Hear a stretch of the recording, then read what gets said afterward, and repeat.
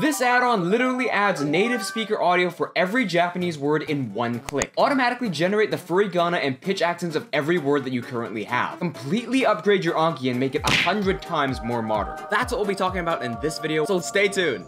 The more time we spend in Anki, the less time we spend in immersion. So to optimize the time you spend in Anki, let's start with add-on number one. The Japanese support add-on gives you the ability to automatically create furigana for all the kanji you put in. In order to install and set up this plugin in Anki, press Ctrl Shift A to open up the add-ons menu, click on install new add-on and paste in the appropriate code. Once in, press OK and restart your Anki. The links to every single add-on in this video will be in the description, and the installation steps will be the same unless otherwise specified. Once you have the Japanese support add-on installed, in order for the readings to automatically generate from the expression field, you need to have a field titled specifically expression and reading. Expression is where the sentence goes, reading is where the reading generates. If you do not have fields named like this, here's how you can rename your fields. Go up to Tool, Note Type Manager. Look for the specific note type you're working with, hit the Field button, and here you can hit Rename to change the name of each field. Go into your expression field and paste in your sentence, click off of the box, and the reading should automatically generate in the reading section. Should you find a card that is displaying the furigana incorrectly in square brackets, go into your browser and search for the particular card in question. Once you find the card, hit the card button up here. On the top right here, choose one of these options that display where you want the furigana to be shown. Identify which field this is, and so in this case, it is the reading field. Find the double squiggly brackets and add before the field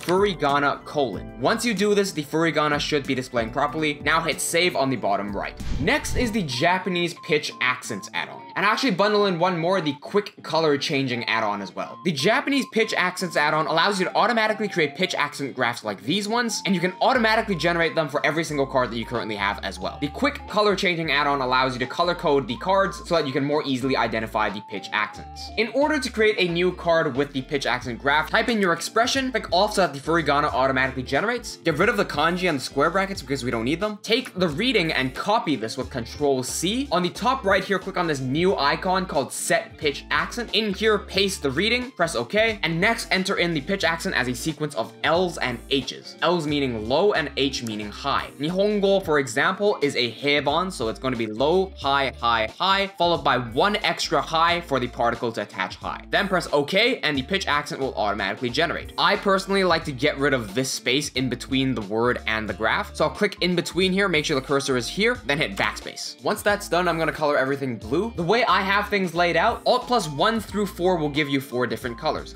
One for blue, and that's heiban. Two for atamadaka, that would be red. Three for nakadaka, that would be green. And four for odaka, that would be yellow. In order for you to have the exact same result, simply go into tools, add-ons, find the quick color changing add-on, hit settings, find this code in the description and paste it in exactly the way it is. To create the pitch accent graph for all of your existing cards, go up to Tools, and under Pitch Accent, select Bulk Add. Once here, choose your deck and hit OK. Then it will show you an example card. Simply choose the card that shows the Japanese expression. Then select the field that contains the reading. Usually it will be called Reading. And for which field the pitch accent should be shown in, again, choose Reading and press OK. Once you do that, you'll receive a message telling you that it's been completed. Next, let's talk about the Migaku Japanese add-on. This add-on literally adds native speaker audio for every Japanese word in one click. Installing the add-on is a bit more complex than the other ones. Other than just pasting in this code like we do with every other plugin, we also have to manually download the audio separately. Once you have the accent accentaudio.zip downloaded, go to the add-ons menu in Anki. Select Migaku Japanese and hit C Files. In the new folder that just popped up, go into User Files and extract the Accent Audio folder into here. This plugin is useful even if you have Yomichan installed because, and here's a pro tip, Yomichan readings are sometimes wrong. For example, here's the word haike. The expected result is haike. What we get is haike.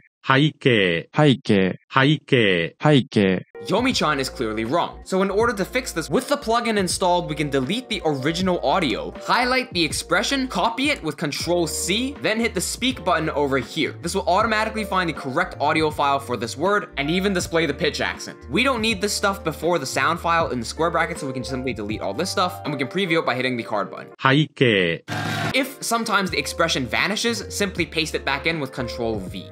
Number four is going to be the Anki Connect add-on. We have this plugin called Yomichan, which allows us to instantly look up the definitions of any Japanese words. However, if we want to remember these cards, it's best to have Anki Connect installed so that we can create a card out of the Yomichan information by clicking on this little plus icon over here. The full tutorial for Anki Connect and Yomichan will be up here. Finally, the fifth plugin will answer the question on many people's minds right now, how did I get my Anki to look like this? And the answer to that is the add-on Beautify Anki. I've already made a tutorial on this one, so go watch that video next.